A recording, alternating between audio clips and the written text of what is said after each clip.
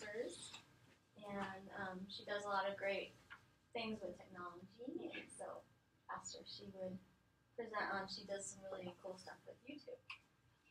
Uh, good afternoon, everyone. I think I know Grace, Robert, um, and then can I have your name? Mary. Mary, and you're from what? What is fine. Oh, art. Art, okay. And Douglas, Spanish. Spanish and Vince, history. history. Nice to meet you all.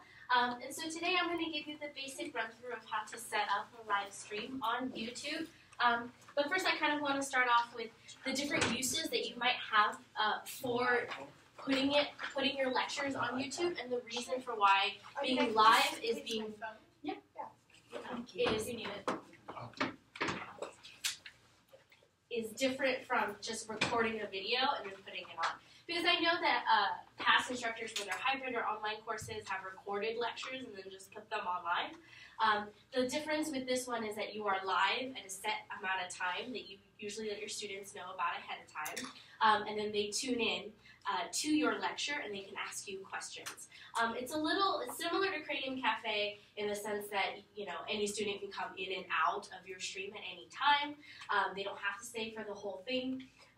The only difference is that you don't see their faces or hear their voices, um, but an unlimited amount of students can attend your live lecture. Um, I believe Cranium Cafe limits it, correct? Two thousand. It depends on if you're in the And then- cafe or the. Right. Yeah.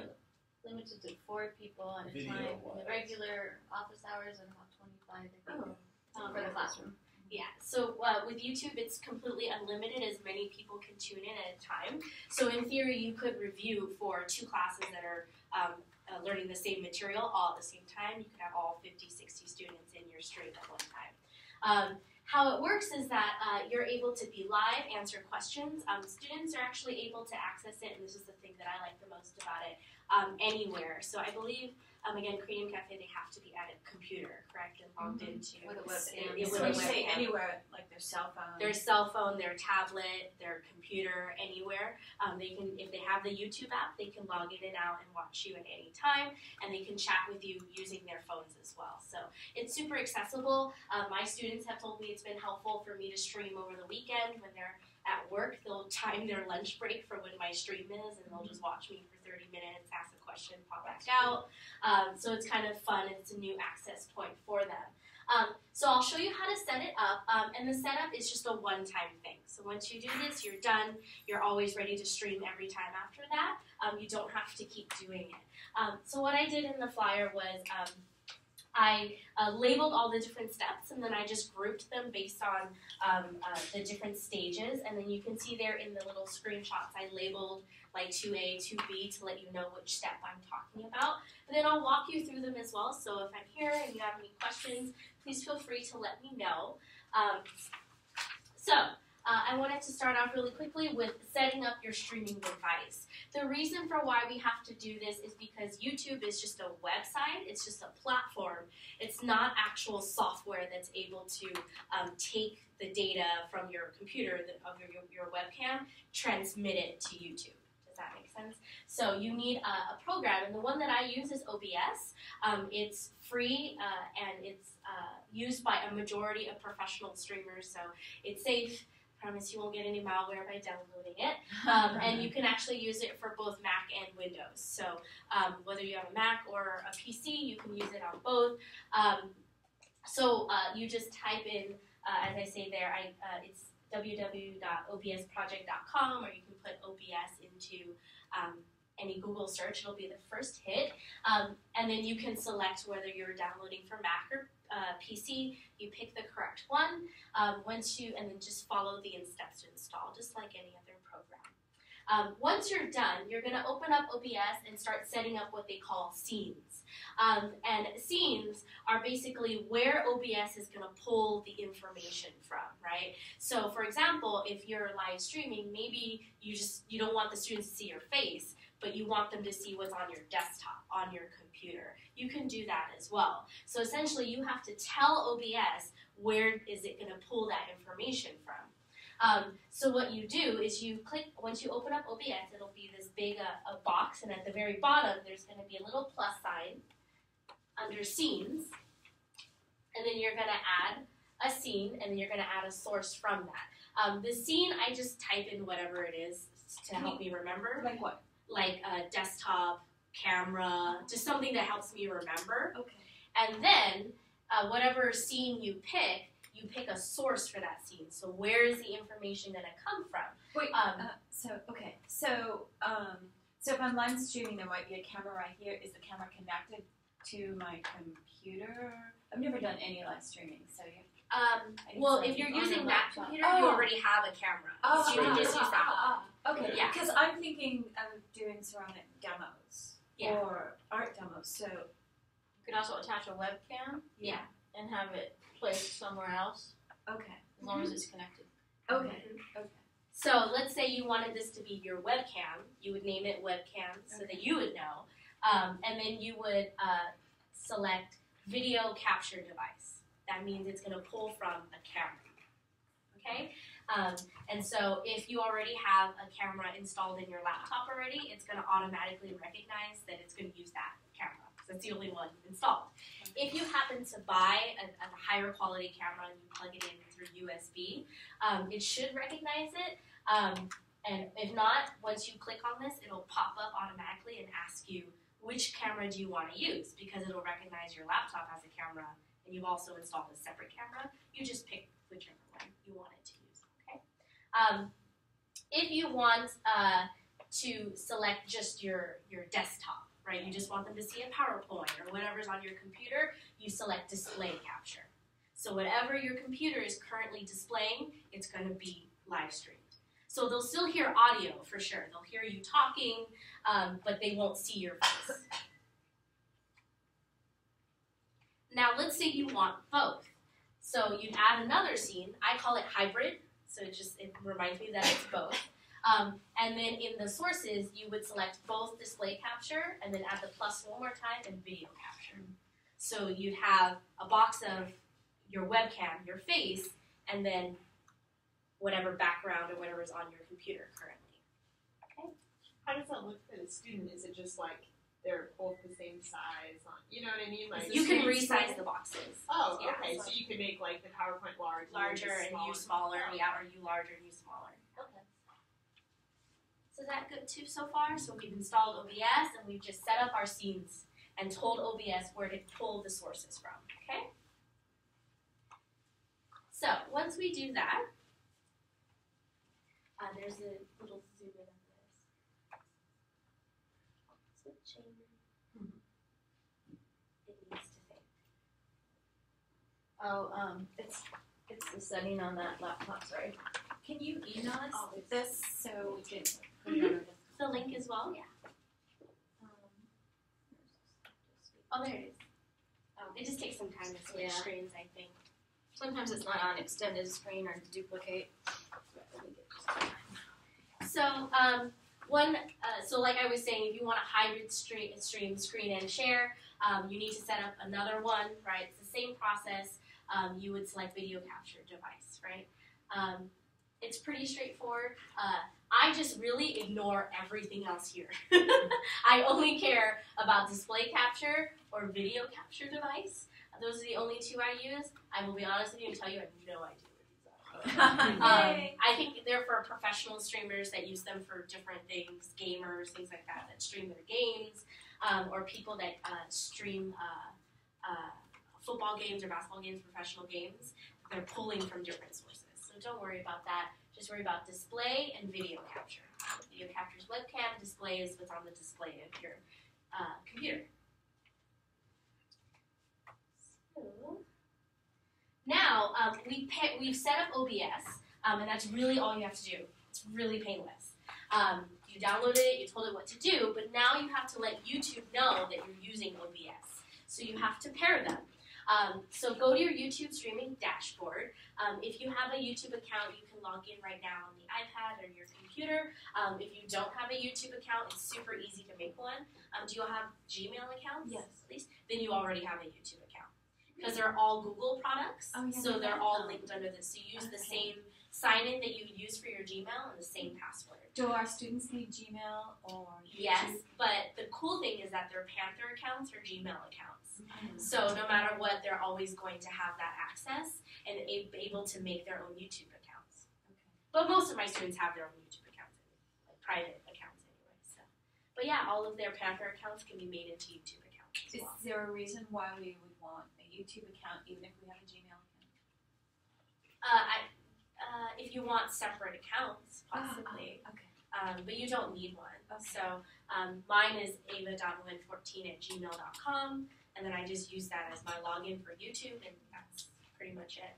Um, One less password to remember. yeah, it's Yeah. one less password to remember. Mm-hmm. Yeah, because it's it's just your YouTube account. It's the same sign in. Um, so from your streaming dashboard, you go to um, Stream Now. So it's kind of on the left hand side right here. Um, and under Live Streaming, you select um, uh, all that info right here, and then you can see that you can select whether you're public, unlisted, or private. There's a major difference between most of these. Public is anyone and everyone can look for you and see you. Okay, um, see what videos you posted, see what videos you've watched, all of that stuff. Um, unlisted means you're not private. It just means that students have to have the link to your video in order to actually watch it. Um, I do this just because I don't want everyone and their watching me while I'm lecturing. So I usually send out a link to just my students and I say, please click on this. So that way I'm not a public figure, I'm just someone that only lectures for my students. Then you can also keep it completely private. I wouldn't recommend that because sometimes it gets on the fritz and it doesn't let students into your stream. I would just say keep it unlisted. That way I can't really search for you, but students can find you because you would give them that information. I also like the unlisted feature because it makes it so that only individuals with the link can actually join the stream and actually chat. So that means the students when know that when they're typing into chat, the only other people that are seeing it are me and their fellow peers, not people they don't know. So six B should be unlisted or public? Unlisted or public, it's up to your preference. It works either way. I just like to do it unlisted just to make sure my students don't feel uncomfortable typing in chat or asking questions. Okay. things like that. So this is all on YouTube. Um, so once you create your own account, um, you just go to your account settings, and it'll pop up a page with this left hand, uh, this bar on the left hand side. You just select stream under live streaming, select stream now, and this is all the settings you need to set up. You just title it, really basic options, like that. Category.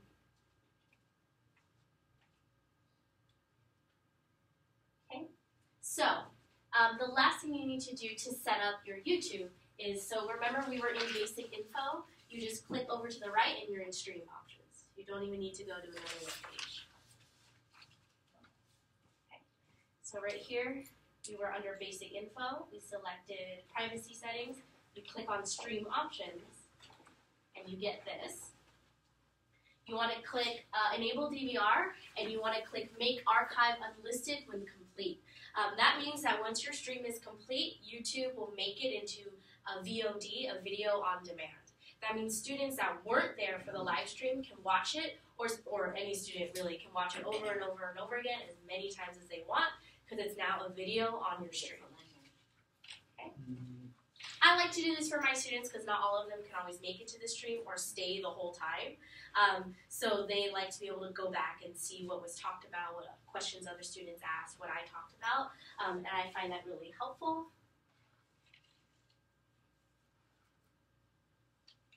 How do they access that video on demand? Uh, because they still have the link to it So they, they just go back to that link and video pop up. Mhm.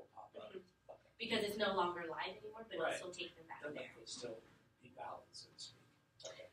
Again, if you want your videos to be 100% public, just disregard this step entirely. This is more for people like me who just want to keep it exclusively for my students. You don't have to do this. Okay. Are we good? I know I feel like I'm going really fast. No. Yeah, that's, that's okay. Um, mine, iPad won't um, download the OBS? Yeah. Oh, it, you can't do it on a tablet. You have you yourself have to have a computer. Oh. It's not mobile compatible. So, but you would, Should you able could to- use YouTube on your iPad, record it, but you'd have to somehow connect it to the computer. Mm-mm. Every time you're live streaming, if you want to be live, you have to use a computer because it has to have OBS. Okay, If and it's just so recorded, then it doesn't, you don't need OBS. Yeah. So if you just want to record a video and then put it on YouTube, yeah, you can use your iPad. But if you want to be live and be able to talk with your students, you have to have a computer, a laptop.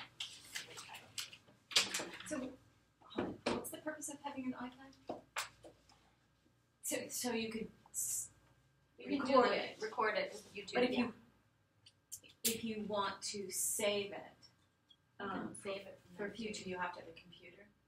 If you want to stream If you live, wanna live If you want to So stream live, you have to have a computer. Ah, okay. okay. So if you don't care about doing it live, if you just want to have it accessible, then you Yeah. don't need the computer. Okay.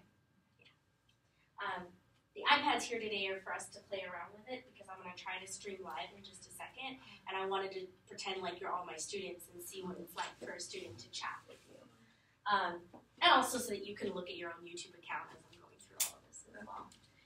So now that's it. That's all you had to do for YouTube. You just had to set that up, and that's it. You had to set OBS up. So quick review: we just downloaded OBS, selected our scenes. For each scene, we told OBS where the source should come from, right? And you're done. That's it. Then on YouTube, you just set up the name of your channel. You decided to make it public or unlisted or private. Um, and then you told it, make sure to keep videos unlisted if that's what you want to do. I think you're done. That's it. Um, so now you just have to pair OBS with YouTube so that they work together. Um, like I said, YouTube isn't the thing that's recording you when you're streaming. It's OBS that's doing it. And OBS is just telling YouTube, right? Hey, my person's live. I need you to have this platform so that people can see my person. Does that make sense? So again, YouTube's the platform. OBS is actually the, the nuts and bolts of what's doing the work. So on YouTube, uh, under encoder setup, there's like a little key that YouTube gives you that's unique to your YouTube account. It's random. It's made for everybody's account. Um, you uh, here it says uh, show, and since I click show, then it says hide, right? Um, click show, highlight it, and copy paste, copy it. Okay. Where's encoder set up on YouTube? Uh, it's in the same uh, Um, I don't see it under Creator Studio. Oh, Follow it. It's under. It's, Yeah, I know, but I don't see. On the phone, I don't see. Is it different for YouTube? I see dashboard.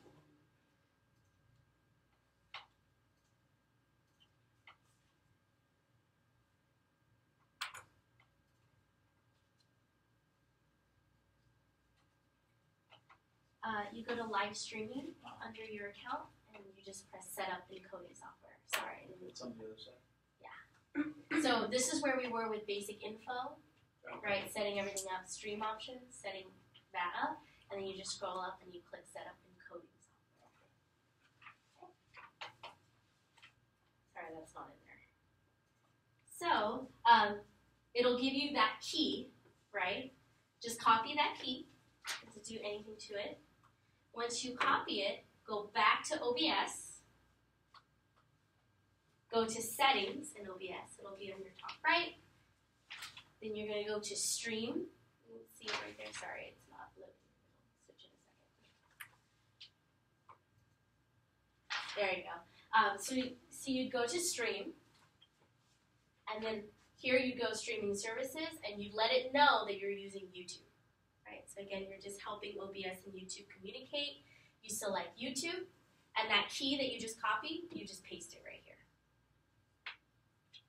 So OBS knows, okay, whatever I'm recording, I have to push to this account, this stream key. The reason why you have to have the stream key is that YouTube doesn't want just anyone streaming under your name, right, and putting up information under your name. Um, so that's why they give you a unique stream key. Will that be unique every time you stream? No, Oh, it's yours. it's yours. It's, so it's like your password. You Mhm. can say. Okay. Yeah. Okay. And then once you do this, like I said, you don't have to do it again. OBS and YouTube will always know. Okay. As long as you use the same computer. Yeah. If you switch to a new computer, then you have to set it up again. Okay. But if you want to switch between, like going back to the first page, between just desktop image or video or the hybrid one that you said, you'd have to go in and manually do that.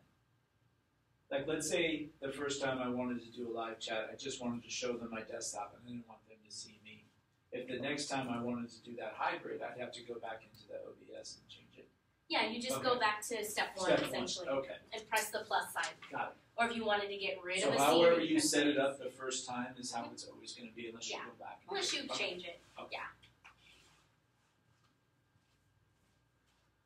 And in stream, you can even switch because if you set Okay. up two scenes, one with a desktop and one with a webcam, Oh, you you can just can. click desktop webcam Gotcha. in So the you middle can of your set stream. up. Yeah, Okay. and That's it'll just switch back and forth. Yeah. Okay.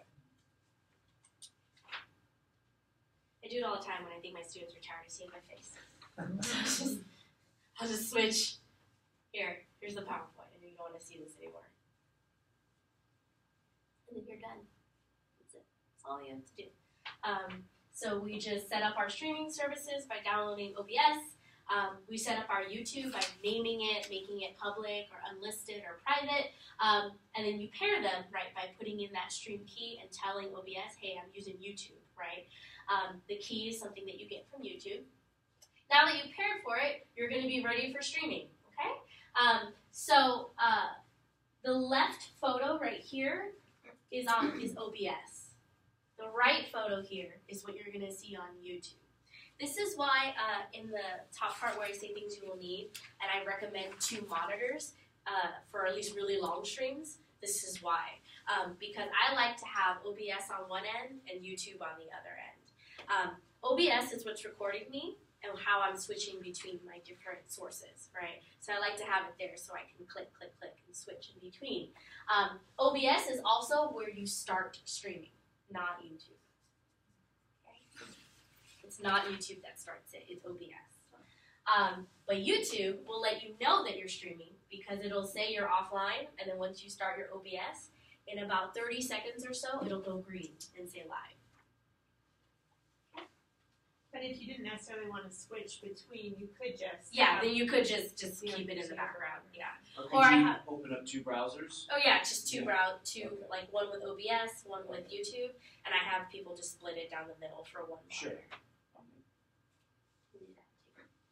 monitor. So, or you can just have OBS in the background. That's fine. If you're not someone that wants to switch in the middle, um, that's totally fine too. And so uh, you press start streaming on that, and then you check your YouTube stream channel, and it should switch to live. Okay. Give it some time. It's a little bit of a delay. Sometimes it's been about almost one minute for me. Um, so that's why when I tell students I'm going to stream at one, I usually start it at 12:55 just to be live and so that they can see that I'm there.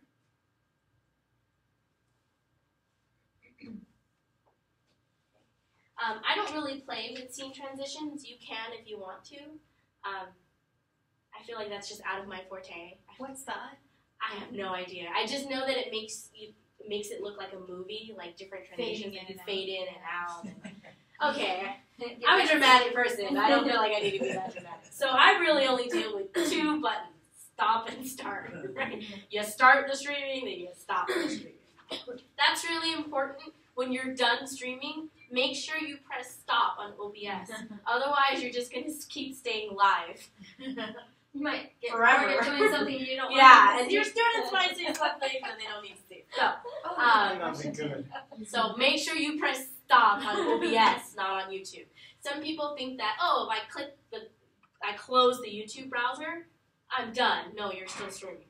You really are. Um, so, because technically you don't even need the YouTube browser open to stream because it's OBS that's doing the streaming. I have the YouTube. You need the the YouTube uh, browser open so that you can see the chat and you can see what students are asking you. That's really the only function of it, and to check the health of your stream. So don't think that just because you exited out of YouTube, you're done streaming. You're still live. I've had a couple friends of mine figure that out the hard way. So just cl- stop, press stop. Remember, stop. You actually have to press that button. In OBS. Yeah, in OBS, not on YouTube. Okay. So once you're done, um, I would recommend that once you set it up the first time, you do a test stream. Just run through it real quick, right? Um, have friends or family like I did just log on on their phones or on their tablets and see what the sound quality is like, if it's working properly. Um, I really don't recommend waiting till you schedule it with students and piloting it that first time, um, just because everybody's computer is different, memory is different, um, and internet at home. Uh, I really recommend you do it at home. And if you do it here, don't rely on Chaffey Wi-Fi. Make sure you have a hard line to stream because it takes quite a lot of um, bandwidth to stream live, especially. Um, so you have to make sure you have a hard line here at Chaffey, so your desktop in your uh, your office, um, or you do it at home because I'm I'm very sure that all of our internet at home is better than Chaffey I Wi-Fi. I have a question. So- um, yeah. so do you give a lecture at home for your students? Now, what if you wanted to do a lecture? If you have like I do, I have on-campus classes and then I have internet classes. Suppose I wanted to stream a lecture I'm giving to my classroom students, that, and my internet students are taking the same class. So how would I do that? You would need a probably a laptop would be optimal with all of this installed on it, and you just bring it with you to your classroom, Yeah. and then just That has the camera on it. that has a camera on it. Yeah. Um, for that, I would also recommend upgrading your microphone. Um, because, uh, like for example, Robert's laptop and mine, well, they all come with a webcam and a built-in microphone, but it's very weak um, as a microphone. Like he needs to be right there for the for it to actually make any sound. So if you are uh, lecturing, you probably need to put your computer kind of far back, right, so that whoever's watching can see your PowerPoint or see you lecturing. But then that will increase the distance and make your voice quality really, really bad. So you probably would need to invest in a really good microphone that's a USB and you just plug it into your laptop. They're about twenty bucks. Yeah, so that it could just pick up more sound because otherwise you're just gonna sound really far away. Plus, you're going to be right on top Yeah. of the camera, right? yeah, You're going to be like, Yeah. you see your Yeah. And then there's a lot of other background noise. and there's background Yeah, noise, true. students shuffling, right? Um, things like that. You can also get a Bluetooth. They sell them on Amazon. It's a Bluetooth, like a like a reporter's microphone that clips right here, Mhm. and it it's a Oh, that's Bluetooth and it connects to your laptop, and so then your voice is right here. Is it wireless? It's wireless, yeah. That would be cool. So if your laptop has Bluetooth capabilities, you can just pair the microphone with that, and then you're done. You're good. So when, so you have the computer in the classroom, some sort of far away from where you are. Would it would it capture if you're moving from one end to the other, or if the student has a question on the other side, you just go there and Uh, it will be captured? it's the same as any camera. You'd, you'd have to move it, Or you have to right? Or would have to be in the range. You need a camera Yeah. Yeah, yeah. Unless you have a camera person, yeah. So I would. That's why. I, that's why I said try to set it up in the far back of the classroom. The downside is you need to upgrade your microphone because Yeah. they, they they will not hear you. And so, um, for obviously some of your internet students, the time you give the lecture to your class won't be convenient for them. So they'll be able to come in later on and view it. Mm-hmm. Yeah. Uh, so once it's done. YouTube will compress it and make it a video on your channel. Now, could they take that video and send it to their own public YouTube display so that the whole world is watching? In theory, yes. uh, I mean, you, you and you can do that with any YouTube video. I can go on any YouTube video and Yeah, no, download it. Yeah. so there's no way to stop. There's no that way to stop doing it. Even if it's private. even if it's private. So if you give me a send me a link to a private YouTube account, I can still strip that video Got it. and take it. Got Nothing's really private on the internet. Sorry. No, it's- There's so Yeah, much it's just- that you can get around. yeah. I mean, you can say it's private, but they, you can have technology Yeah. that's around it too. The only They thing about know. private is that I just can't find it. But if you give me the link, I have the link. You know what I mean? Like it, yeah. So I can't type in Robert Nazar on YouTube and find you. But if I have that information, I'll always have it. in a s the most cynical way possible. I'm, I'm sure that most of my students are not Yeah. interested in downloading my videos. And a lot don't have them the tech savvy. Yeah. I mean, but yeah. pretty much anything you can watch on your screen, there's technology. My husband's a tech guy, so I've seen him do it. He can just he has technology where you can record whatever is showing. So even if it's set to be not recordable, you can record it. That's what you think about though if you did record in a live class because you know oftentimes students share personal or confidential things, so Yeah. your students would have to be aware that it could potentially become. Yeah. I, especially like in Maybe just a sociology. disclaimer. Yeah. Um, I've also had other instructors uh, use uh, the first half of their class exclusively for lecture, and then they'll stop it. They'll stop the stream. And then the second half, when students are discussing or disclosing things that no one outside the classroom knows about that. So that way, out students who might you know be on your online class can still watch your lecture. Yeah. They don't necessarily have to listen to the student discussion afterwards. So. Uh, the reason I'm a little sensitive to this is um, because I think just over the last week, um, uh, JP got into a kind of, I would call it a scandal, but the Facebook uh, that uh, JP puts up was used um, by students to uh, make derogatory comments about certain faculty members. And um, the, you know the faculty member just was notified on his private Facebook that someone posted a comment on JP's Facebook, and when he looked at it, it was like, what? the-" You know, um, so I'm kind of sensitive to how much the public is able to see. So to, to avoid that kind of possibility, you would just do it at home for your internet student. But even then, Yeah. it wouldn't stop them from. I mean, if let's say let's go back to your in-class example. What you could do is if, if I was you and this is my PowerPoint, right? That do you use PowerPoint or any kind of digital or write Uh, on the board at all? I do, yeah. Yeah. So you could actually scoot your laptop super close to where it only shows the PowerPoint or the whiteboard, and very minimally shows you. So Yeah. people hear your voice, but they can and then they can see what you're writing on the board or whatever is on the board, and then they don't see you. So that's something that that's an option as well. Um, Or if you're doing it from But- home, but- you can have it so it only shows your desktop Yeah. and so it only But has I know that that display one of the one of the possibilities on YouTube, which I've done before, is that you can cut. Um, I know I sound I sound cynical. I know, but I you can cut uh, aspects of a video that you're streaming on YouTube, and you can eliminate parts that you don't want on.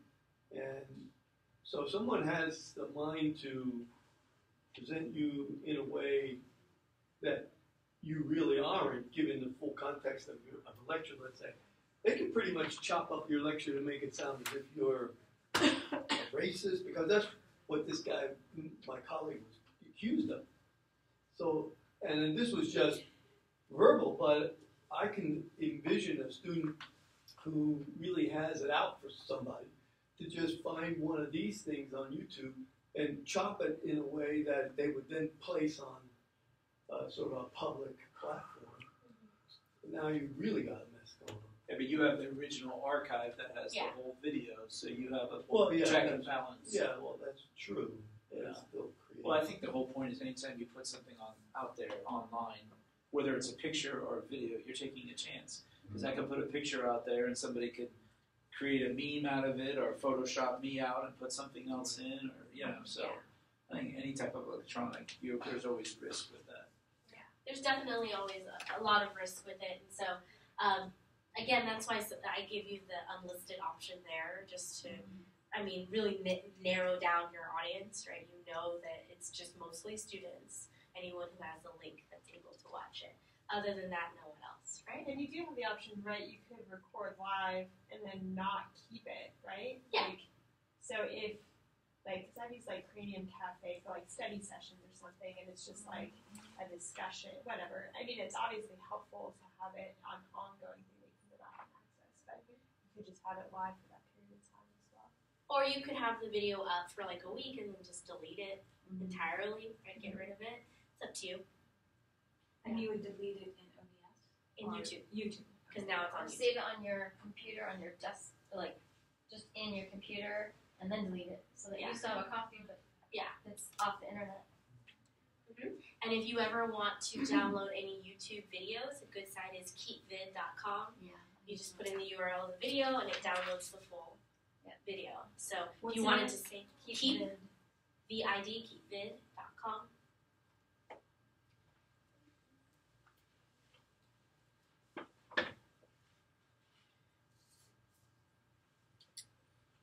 Uh, so here's a quick thing just on how to manage your stream, right? You can always go to Video Manager in YouTube, um, switch privacy settings, edit basic uh, info streams, add stream uh, thumbnails, things like that. Um, you can always send the recorded stream to share with your students, and these are also mobile friendly, so again, they can do any and all of this. Because once it's been compressed, you can just send it? That's, is that what you just said? It's a link on YouTube. yeah. Uh-uh, so the link. YouTube compresses Okay. it, puts it on YouTube, Yeah. and then they can just watch it as long Yeah. as they have the link. Or if it's public, then they could search for it. Yeah. Another cool thing that I think YouTube does is that it gives you statistics on how long students are watching your stream, how many are tuning in, how often they come back to watch it. So for me, it's been really helpful to figure out and play with um, how am I lecturing online. Um, how am I, am I timing it correctly? Um, am I setting it at a time that most students are able to access it? And is it useful enough that students are actually coming back to watch it? Um, so you can see uh, in your own YouTube settings, I actually have it up right here. Um, it'll tell me how many playbacks I have. So this is how many came back to watch it again. So not even who attended the stream. Um, this is uh, average view, how long they stayed if they were in the live stream. Um, how what your your peak was for that video, so how many max you had at the highest time possible. This data is really helpful. Um, just to note that this data is usually not available right away. It does take some time for YouTube to compile it, but it does make it for every live stream video that you have. So you can always track your progress as an instructor um, and see what you're doing and, and how you're streaming and whether or not it's helpful or useful for your students. Where do you send the link to the students to join you for the live stream? Where is that on the instructions? Is that Um, sorry, I totally forgot to mention that. Once they uh, subscribe to your, I would encourage them to do it one of two ways. Um, you can schedule a stream, so once you go to a live stream, uh, you can.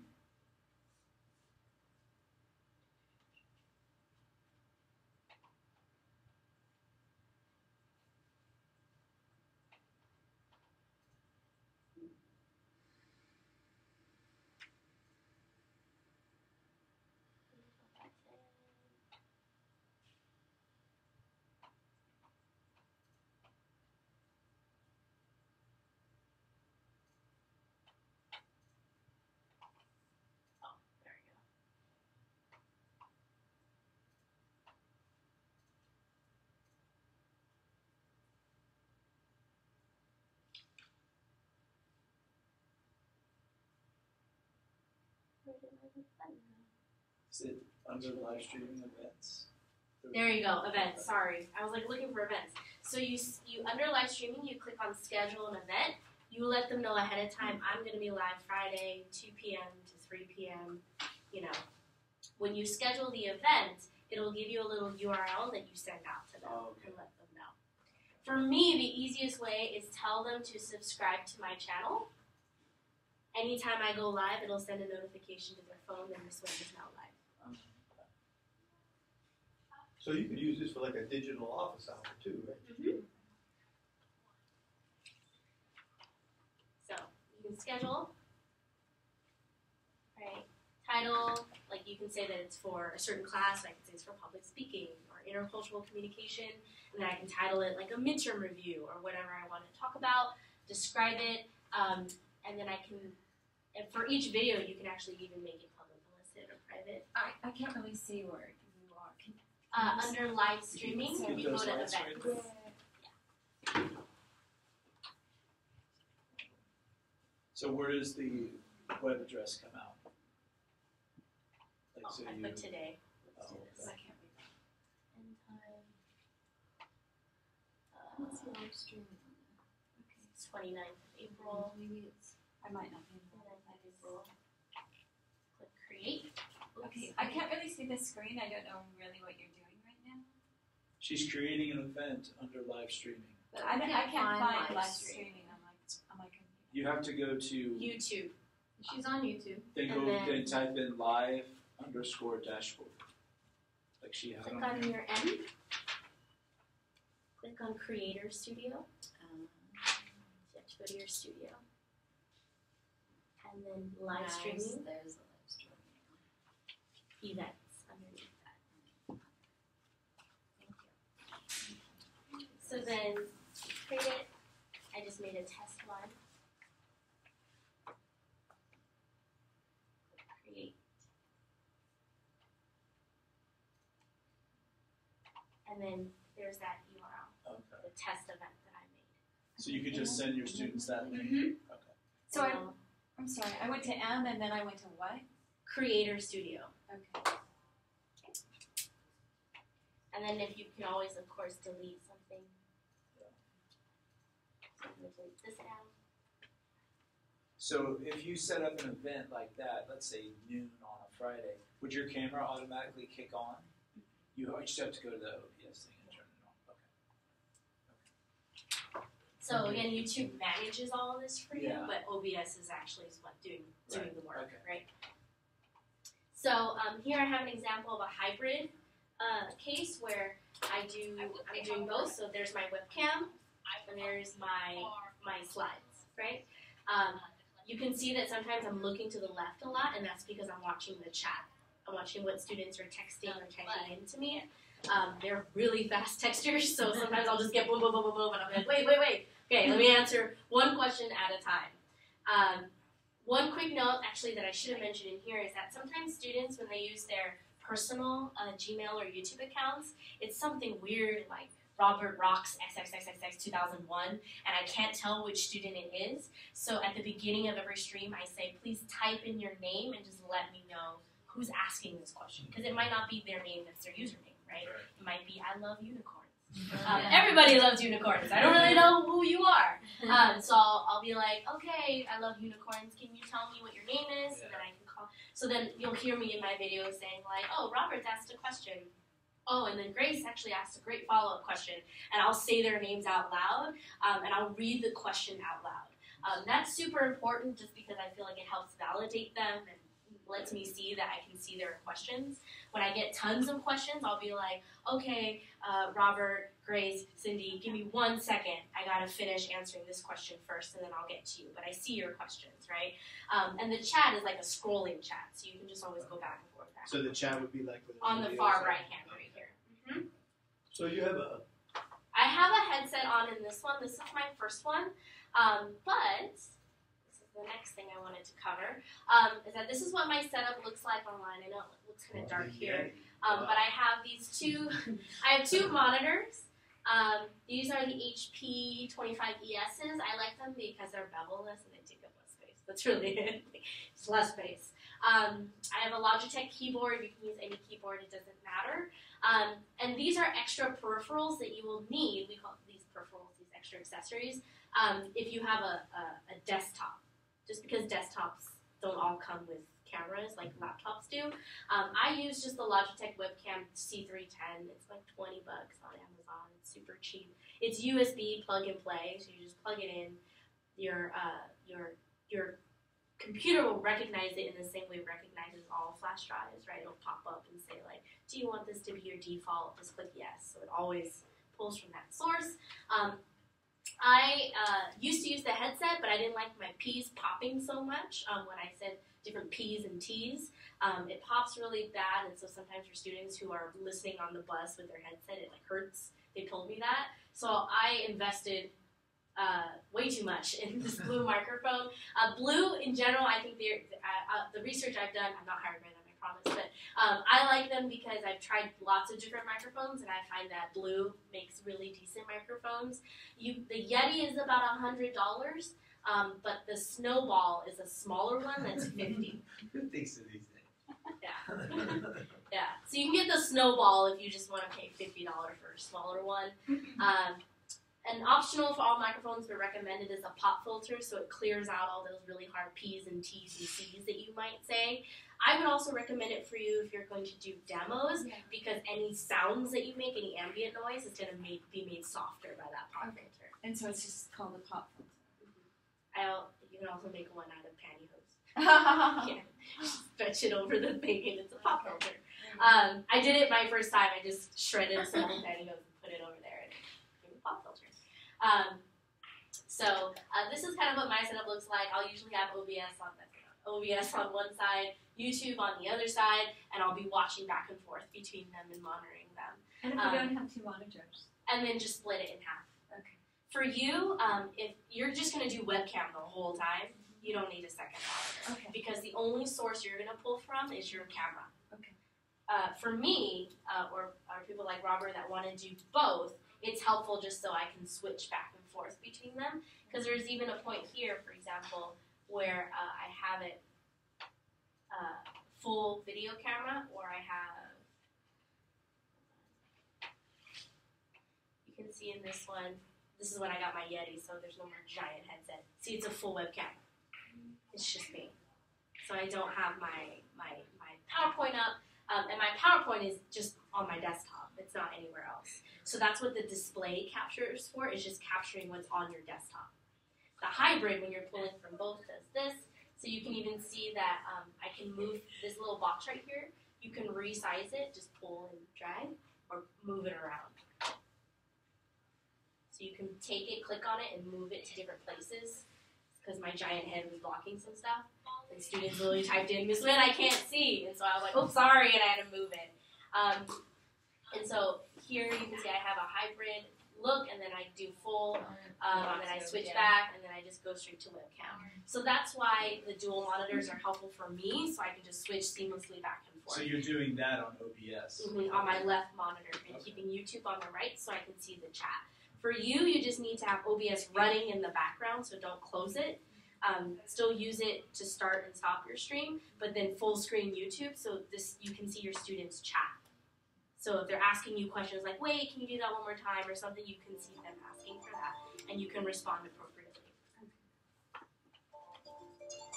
So do you live stream all your lectures, or just like I see these are like midterm reviews? Is that mainly what you use it for? Or? These are my different piloted ones, but right now I live stream for every end of every unit.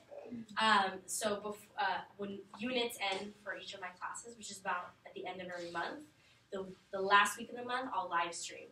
So I'll set it up with my students, and I'll try to vary the times just so all students have an opportunity to see me live. Um, all students can always watch your video again, but that doesn't mean they can ask questions live. And so that's why they're very motivated sometimes to see you live and they really want to because they can literally ask you questions in real time without having to be there with you right um, so that's kind of nice especially for your students because you're physically showing them how to do something which you, you, they kind of need to visually see that right so it'll be really helpful for them to ask you questions and say wait stop do that slower or whatever they need you to do I think it'd also be helpful for the languages in like pronunciation if you're going over conjugating verbs or pronouncing something or having conversations. They can ask you like, wait, how do you say this word or how do you say how do you pronounce this or how would I conjugate this? They can ask you that in chat and you can say it for them and they can hear it. And then they can always go back to the video and hear it over and over again and just mimic you, right? To learn how to do it. So that's why I really like YouTube as a platform. Um, uh, I, I I uploaded a little. Uh, um, Can I ask you? I'm yeah. sorry, just a quick question. So could I manipulate, like, if you go back to one of your lectures, um, Yeah. well, where you have it the hybrid. Let's say a student, I was chatting with a student, and he or she had emailed me their introduction paragraph for English. Could I do the split screen and like manipulate their paragraph and, and mhm, I actually have it right here. so it doesn't have to be a static PowerPoint. yeah, so it's a Word document. Okay, That's a Word That's what I document mean. that, Yeah. and okay. you can see that I'm scrolling through it and typing in it okay. as I'm talking. Um, and what I like to do is type in a different color so that they can Yeah, visually see okay. different colors. And yeah, so you can see here It's I a little moved bit better box. than Cranium Cafe because you have to kind of remember in Cranium Cafe you could do that, but it's not as fluid as that. Okay, that's I good to I have a question now. So once this is on YouTube, um, could I URL it and put it on Moodle? Yeah. I could do that. You Just like Moodle. Canvas, whatever, Yeah. because it's just a regular YouTube video. Yeah. It's really accessible. Um, and I love it because no matter what educational platform we'll, we will ever transfer to, so it's Blackboard or Moodle or Canvas, it'll always be YouTube compatible because YouTube is so big. You know, it's the video streaming um, website, so it's always going to be something that's easily transferable. So if a student needs to give a presentation or a speech in your class, have they done that before? If they cannot come to class, but maybe you, you ask them, you can do it, um, you know, by streaming. Is that, uh, does that work well? I haven't tried that. Um, I've let them record things and then Oh, cool. give me the video or post it to YouTube, but I've never had them do anything live. Most of the time, I, I just personally don't see the need to, but you might. Like, so for example, if you want a student to have a presentation and have other students comment on it, that's a reason for them to wouldn't do they that. have to set up the live stream? Mhm. Yeah. That's They the have to set up difficulty is the- that they have to learn how to do all Unless of you're doing it in the classroom. Unless you're do yeah, unless Yeah. you're doing it in the classroom, you're giving them your Otherwise, they're technology. gonna have to follow all of this. Mhm. right? Yeah. Yeah. Yeah. So, so you can see there that see I'm highlighting Yeah, stuff, see, I'm that's talking cool. stuff. Um, and so for you, that's why the the double monitors might be helpful, just so that because this is full screen on No, my my my Yeah. desktop. Yeah. So um, Oh, I see what yeah. you're saying. So are you, are you going over it? so I mean, you could do yeah, just I a think so. you could do just a single uh, Right, monitor right, right. and have OBS in the background. It would just you'd have to click out of this, go to OBS, you know, press webcam again, right? Sure. and then have your full webcam back if that's what you I wanted. kind of like the hybrid, so I'm Yeah. Big headed. Yeah, so if you're only going to stay in the hybrid, then just do one monitor. yeah. It's me. yeah. And y'all can see here, like I said, I moved my box, right? So it's Yeah, just no, drag and drop. So I was over here, and then I just moved it over here. Um, and you can, and I, I actually use this to go over the last quiz that they had. Um, so I showed them the correct answer. I explained why it's the correct answer because we ran out of time in class. So I felt really bad. So I said, I'll live stream all, all of that. You can ask me, like, why is that the right answer? Because sometimes I'll give them the answers back, but they don't understand why it's correct. So that's what I used this stream for, was to show them Can why. I ask a question? Do you use this test again? No. I was gonna say. No, no, no, no, no. Yeah, just make sure it's not a test you're gonna Yeah. use again. Uh-huh. So I recycle all my stuff. So what, at, while you're, no, this, you wouldn't do this. I was gonna ask if you can edit, because I know that in my internet classes, I'll use the QuickTime Player, and I'll just give them the weekly assignments. Next thing you know, my cat walks right across the You screen, can't. and you can't. Ed- I, I If can it's- edit that out, but start If all over it's again. live, what will happen is it'll go to YouTube, um, get saved as a video. You have to do you have to download the video Yeah, then you have to and then edit. edit it in video software, then upload it back up with your cat not in it, Yeah. Yeah. which is a lot of work. Just get rid of the cat. Yeah. So just don't. but even then, that doesn't erase. I'm Yeah, get rid. But I just- you know, Robert's my- yeah. I got three cats and one husband. So, but even then, that doesn't per- that doesn't undo all the live people that saw your cat live, right? So you can always edit the video after the fact, but if it was live and it happened, they saw it happen. Um, which is yeah, it's not the cat is not the worry. And if I just want to create a series of videos that don't need to be done live, Then you just record it. just record it, don't need OBS, or I do still need OBS? No, OBS. Thank you. Okay. And then, um, then it's just in Create over on the- Creator Studio, and then you would just uh, upload a video. It is already recorded. Okay. Uh, the catch about that is that the convenience of streaming is that when it's you stream the video, you do your lecture live. Yeah. You, YouTube will automatically kick it to get processed to be published. Yeah. Whereas if you record a video on a camera, on your laptop, on your cell phone, and then try to upload that video to YouTube, it takes a lot of time. You kind of got to sit there and like wait for it to upload. Depending on your internet speed and your upload speed, that might take a really long time, and the length of the video. So you have an hour long video, right? And let's say you shot it with a really nice camera or like a decent quality camera, it'll take a really long time to upload to YouTube. They give Right. priority to streaming. Yeah, if they give priority to streaming, it kicks straight to, to published video. So, and for streaming, it also takes uh, different amounts of time. So if you only stream for 30 minutes, your video will be up within the hour. If you stream for, like, I streamed for two hours straight because the questions just kept coming, and I was like, okay, guys, thing is getting tired. Um, so I can't do this anymore because it is a lot. Um, my two-hour video took about maybe an hour and a half to be published on YouTube. So just let your students know, be patient. It'll definitely be up there on the same day, but just depending on how long you streamed, it'll take YouTube some time to get it up there. One last thing, I would really recommend that you come up with like a catchy name and please have your students subscribe. I know it sounds like a lot of self promotion, which it is. I do a lot of shameless self promotion in class, but there's a reason why I want you to do this. Um, I started piloting this two semesters ago, and I'm going to bring it to full speed and do it more regularly.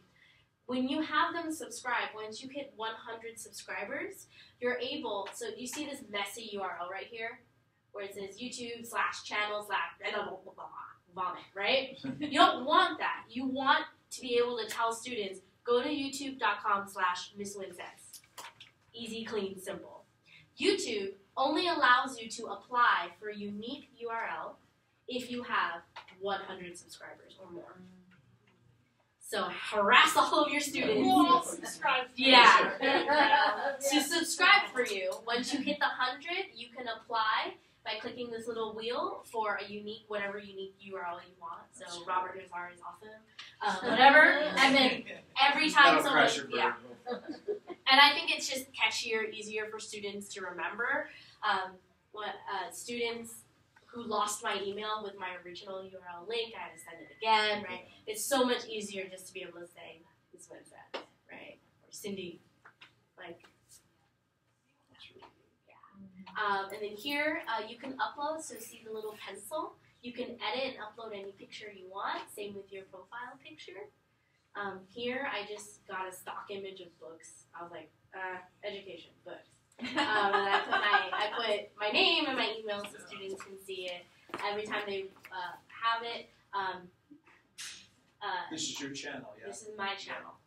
Um, and then the cool thing is that it also lets you view it as yourself or as a returning subscriber, so you can see what your students are seeing when they actually come there, um, which is cool. And then you can have the about section where it tells you know you can. I haven't really updated this obviously. Um, but yeah, so there you go. I have, and then you can start making different playlists for different classes, right? Different levels of classes.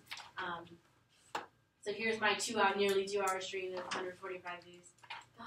Um, one thing, always have water with you. Yeah. I did not think it through. I was streaming for an hour and 40 minutes with no water. Oh, So at the end of it, my mouth was like, "Ah, ah, ah, ah." um, have water. It seems like such a basic thing. Have water.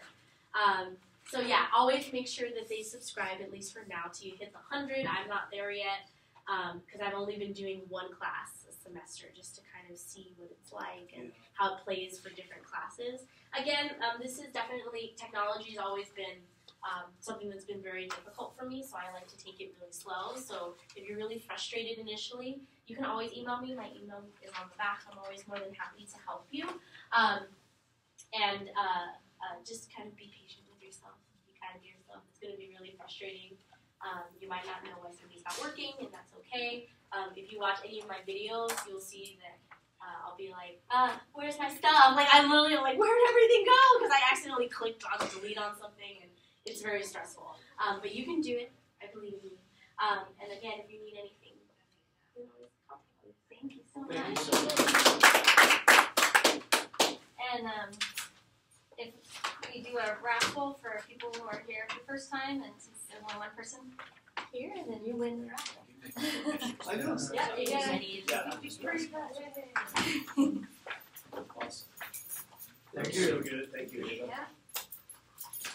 Was that helpful? I tried not to make it look so complicated, No, and I was like, I think I made it you know, look something like complicated. this, you need a step by step, like press oh, on.